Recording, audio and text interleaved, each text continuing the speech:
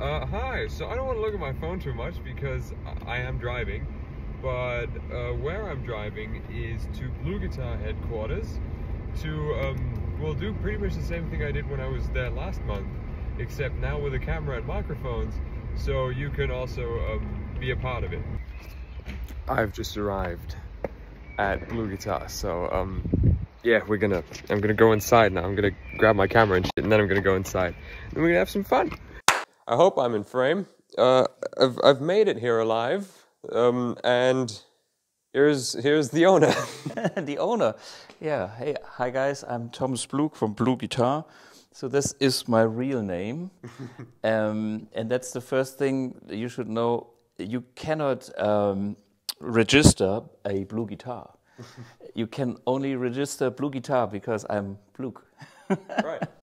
Uh, all right. So I've, I've only come to this corner to uh, introduce uh, him and uh, to, you know start the video off, but I, we, we, can we can you know get going now uh, because this is not this is not the interesting corner. This is just a black top and a um, and well here we have some products. Okay, this is where the juice is. So um, this is the famous Amp One. In this case, it's the Mercury edition, which can be seen on that little little little sign here under the tiny. fan. Yeah, tiny.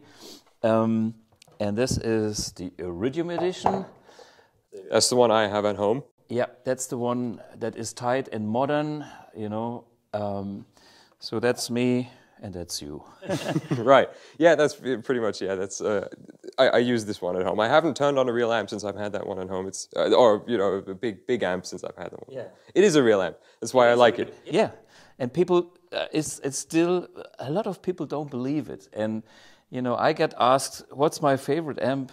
And then I go, well, if it's not this one, and I go, it's my old vintage Marshall, 1965. And then I switch it on and I, I really like it. In my switching system, in my, in my video studio or my studio, I go A, B and I think, well, this sounds maybe exactly the same or not that far off. In I have more features. I have a reverb. I have everything, but I'm not missing anything of my real amps. We will be in that studio in a bit. Uh, that that is we, we are going there. This is just this is the the office, the headquarters. There's proof. Yeah. you would, wouldn't have one of those at home. Uh, see, this is my desk here. Uh, I'm, I'm living in the, the middle of a chaos which is, uh, well, this is our remote one. We are working on a future remote. There's my AmpX folder for this. There's a timeline. There's things about. You've mentioned AmpX. We, we, now, we now must go back here because, because now you have to explain to me what this is because people have not seen this yet. I mean, if you, few pictures maybe, but not.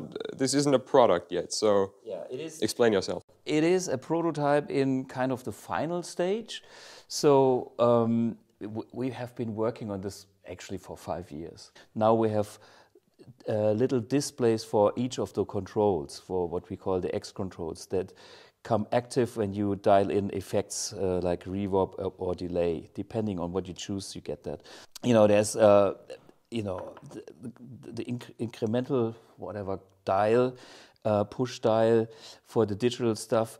But mainly, this is uh, the concept is that this thing is mostly analog, and it's it is actually analog. That's the, the big thing because these amps they are not modeling amps; they are real amps, just using tiny little components, and we managed to get the same sound and the same feel like for the old boys uh, into 1.2 kilogram. And then we go here and have maybe pedal effects. I'm going into my delay, mod delay, and press here, and I go for my replex, and then suddenly I have little guys coming in here. There's boosts and drives and you know a kind of and there's like two presets on each no, the purple one and the blue one that is, hold on, I'm, I'm, I'm gonna get, I gotta get the tripod again. Yeah, so the reason, I'm gonna grab this one because that's the one that I that I actually use. I, have I've used this I used this briefly for like maybe a total of six minutes uh, last time I was here off camera. So this is the one I have at home, and it, uh, again since I've had this one, I have not turned on a real amp head. Uh, they're still in the background of my videos because uh, yeah, a wall full of this is not uh, the nicest decoration, but this sounds as good, if not better. Uh, and it just takes up less space. I have that big, uh, big rock board that Warwick sent me. If I taped that on it, I could just go and play a gig, and that would just that'd be the entire rig. I'd plug straight into the PA. For a moment, I couldn't believe uh, that these are not digital because anything that I've heard be this versatile, it's not just about the sound quality. It's just about the fact that it, this can do anything. This can sound like any amp that you have at home. Yeah. That just kind of that, that, that gives you the impression that it's probably just another quad cortex, but it's not because I don't like the quad cortex, but I like this. Well, this is a real amp, and it's all analog. That's that's the big thing. Uh, it's analog from input to output, so no conversion, nothing digital in the signal path. The one only exception is there is a reverb on it, and the reverb, of course, it's not an old school tank. Yeah, no. Yeah. The, the, the whole tank would be as big as the amp is. So Yeah.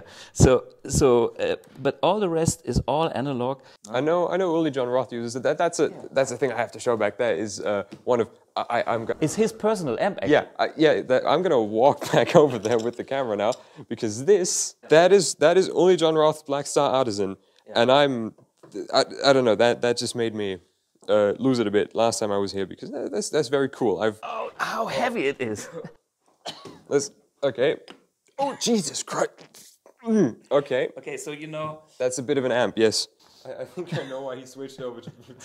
He he has five. He bought five M1s, five of the um, the silver ones. You know the, the Yeah. like the Mercury, and uh, he uses um, when he plays with his three guitar players. So he gives two to the other guys, and the other ones he uses himself because he he. I mean he's the boss. He uses two, and. Um, he one day he asked if I can get exactly this sound into an amp1. So Uli is the only man on the planet that has a Blackstar inside an amp1. it's a unique modification we have. Oh, oh, so you've okay.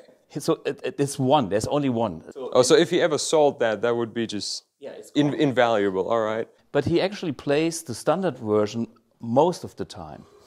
Do we start in the confusing room? What else? Yes. Okay, well, this is the, the chaos room.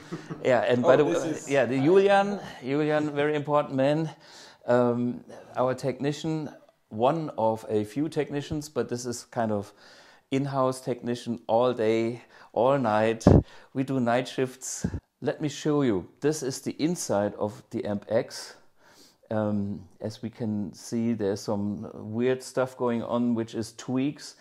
Here is our nice little nanotube, that sub miniature tube that is part of our concept.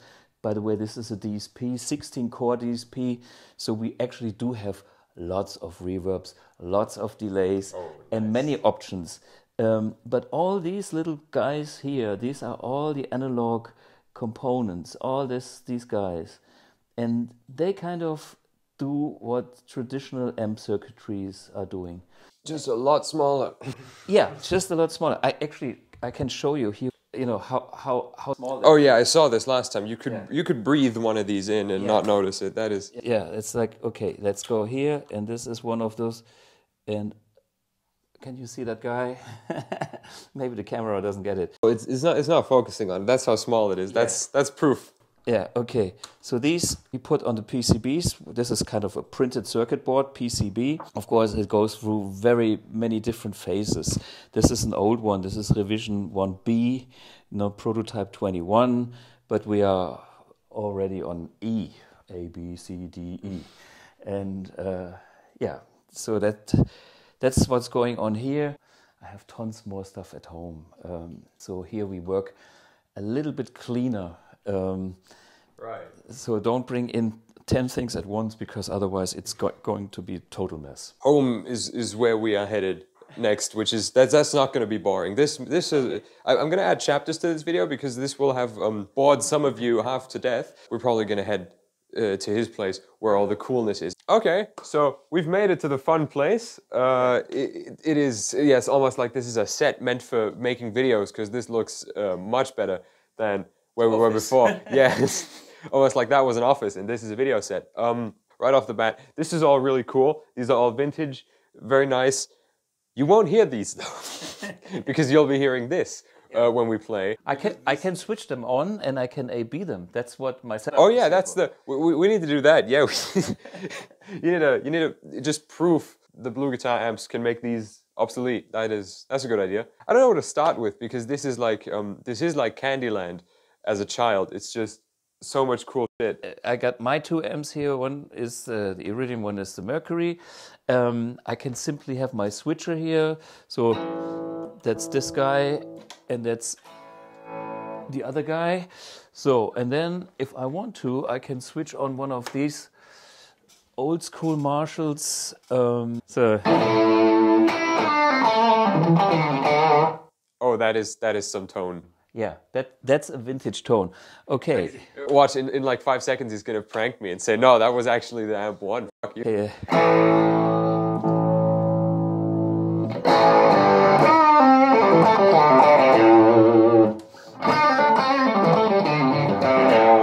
Oh, yeah. 1965, and this is today. You get it, okay. yeah, no. If, if he um if he AB'd that with my even with my eyes open, I don't have to close them. I can't tell. As long as the lights are on on both of them, I don't know which one is uh, which one is which. Well, this Also- is my job. Yeah, right. Also, that, that guitar that he's used, there's going to be a video about that guitar. There's, I'll leave that for you know in a few weeks so I can stretch the content from this day very thin. But there's there's going to be a video about this guitar. It's a 1961 Yeah. 61 Strat. So that is. I f- keep forgetting whose signature model is this because it's someone's. Alex Beyrodt. Alex uh, Primal Fear, you know. Oh, Yeah. Okay. Cool. Yeah, because it, one? it, look, it reminds me of like a George Lynch signature, but also I think every ESP signature guitar looks the fucking same. So, you know, it, it is what it is.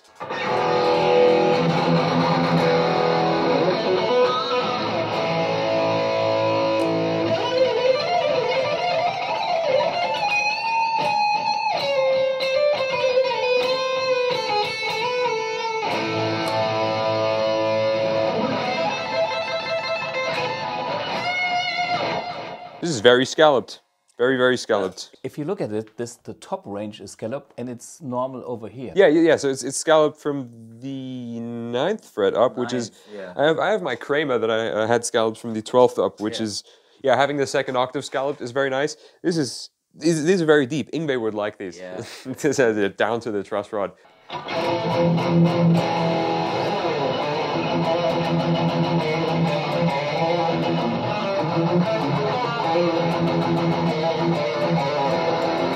Thank you.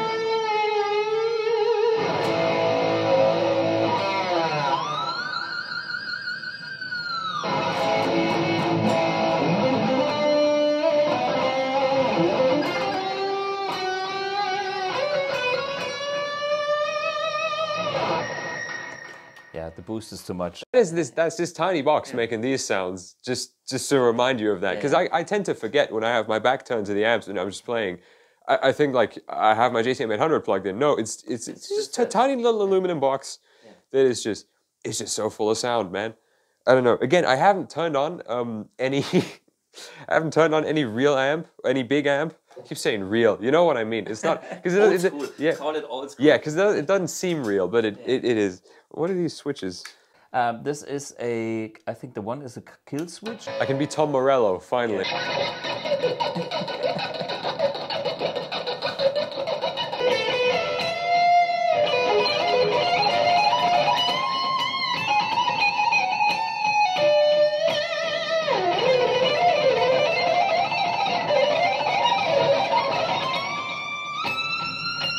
Yeah, the cool guitar. That's not, that's not what the video is about. I keep getting distracted because this is all just so cool. But that's, I mean, I guess that's that is what the video is about. Is this is all cool, and I want to show it to to people because you need to see it. If I wasn't here at BluGuitar, where there are these things, um, then this would be the center of attention. I'd spend eight hours talking about how cool these amps are, but that's. I don't know. It seems pointless when I'm sitting in front of this, and it sounds exactly the same when you A/B it. So I don't. I don't know that's the fun thing. That, that's what inspired me to actually make this video. Is just the fact that yes, I have cool shit at home. He does too. Yeah. Uh, we we both do, and guitars still count. They do. You'll never be able to to replace a guitar. People have tried. Um, like was it BIAS FX 2 but it tries you can like pay for individual guitars and then it, you can try you can make a strat sound like a gibson v and it sounds like. It really does. First of all, it, it has latency and everything. Guitars will will count always. So that's people have asked me like you think pickup um, the pickup industry is going to go bankrupt? Not in a million years because if people do switch to like a quad cortex or even something like this just something that has every tone they need in it they're still going to want to keep buying because you can't you don't have to keep buying amps. You can just buy this. So what do you keep buying you keep buying guitars and you keep putting different pickups, pickups in them that's just kind of what it i mean i do that too. I do that with fishmans Yeah. and i do that with uh noiseless single coils and everything. Not because i need to because most um, of my pickup related problems can be solved by just tweaking the gain knob. But it's, it's just fun you know? Gear acquisition is is a hobby in it is yeah it's a hobby in itself. Yeah.